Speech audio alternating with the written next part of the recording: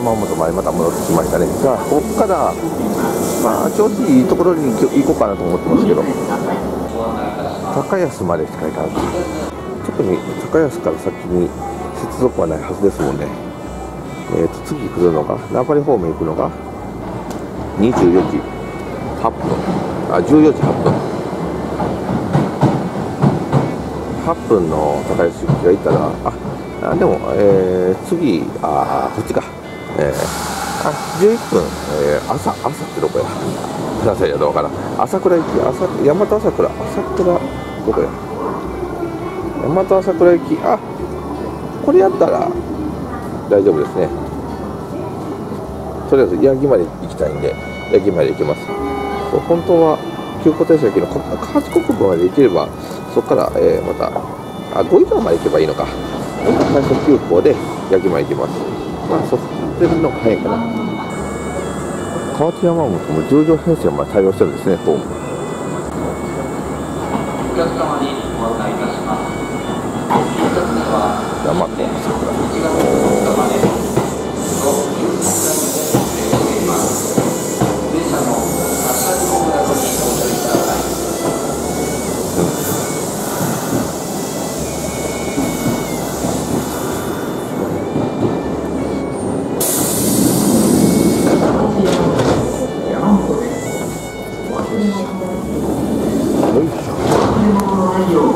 ょ河内国部で、えー、急行と接続するらしいですね。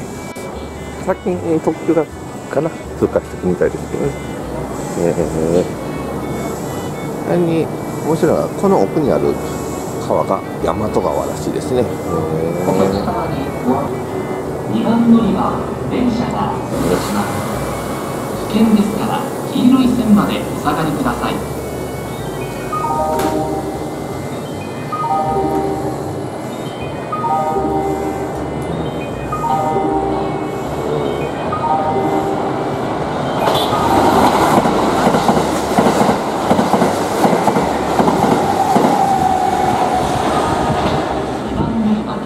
山町行き急行が6両編成で参ります。危険ですから黄色い線までお下がりください。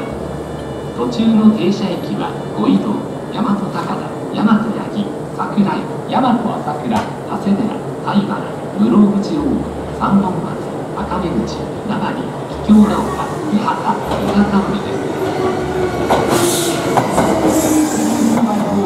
で降りて A ライナーの番乗り場天理奈良方面から後ろの B ライナーの降りて6番乗り場やっとる。よな電車に乗り込んでください階段間違えた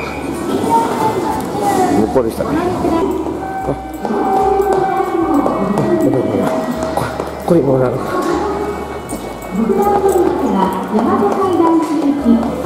ほほほほうんまあ大和最大地行き各駅停車。扉注意ください。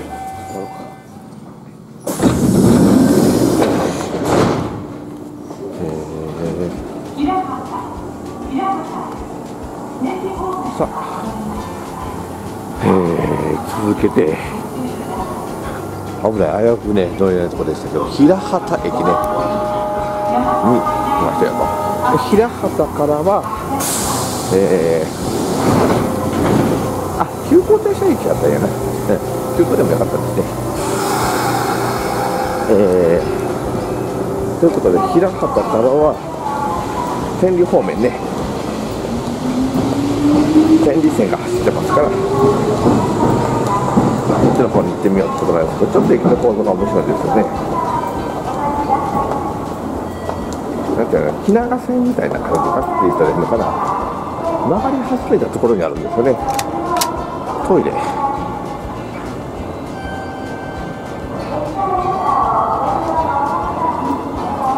でやっとると向こう側に、えー、あれですね。15時20分。今何時？こんな感じでずーっと離れた方ね。1番線と2番線が早く分かれてるんですね。今度は1番線に来るんですね向こうが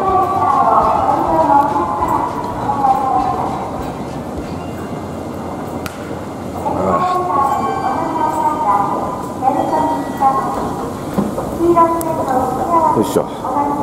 トイレ借りとこうかな、えーこんな感じのやつです。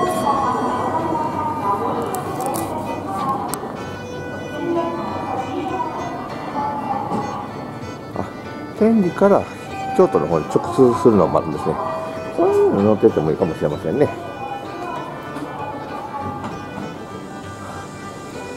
京都行き来るんですね。ホームの位置がガラッと違うんですよねそう。最初ねこっち側に今あのターミナルのねえーあのはないですね。全部このまま行っちゃいますから。でこのまんまあっちの方で京都線の方ずっと合流していくんですね。うーん。ですねホームの位置がちょっとずれてるんですよね。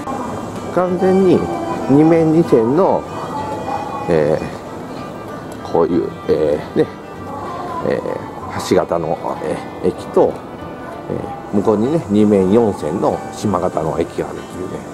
合計で12344面6線なのか、えー面白い構造ですね。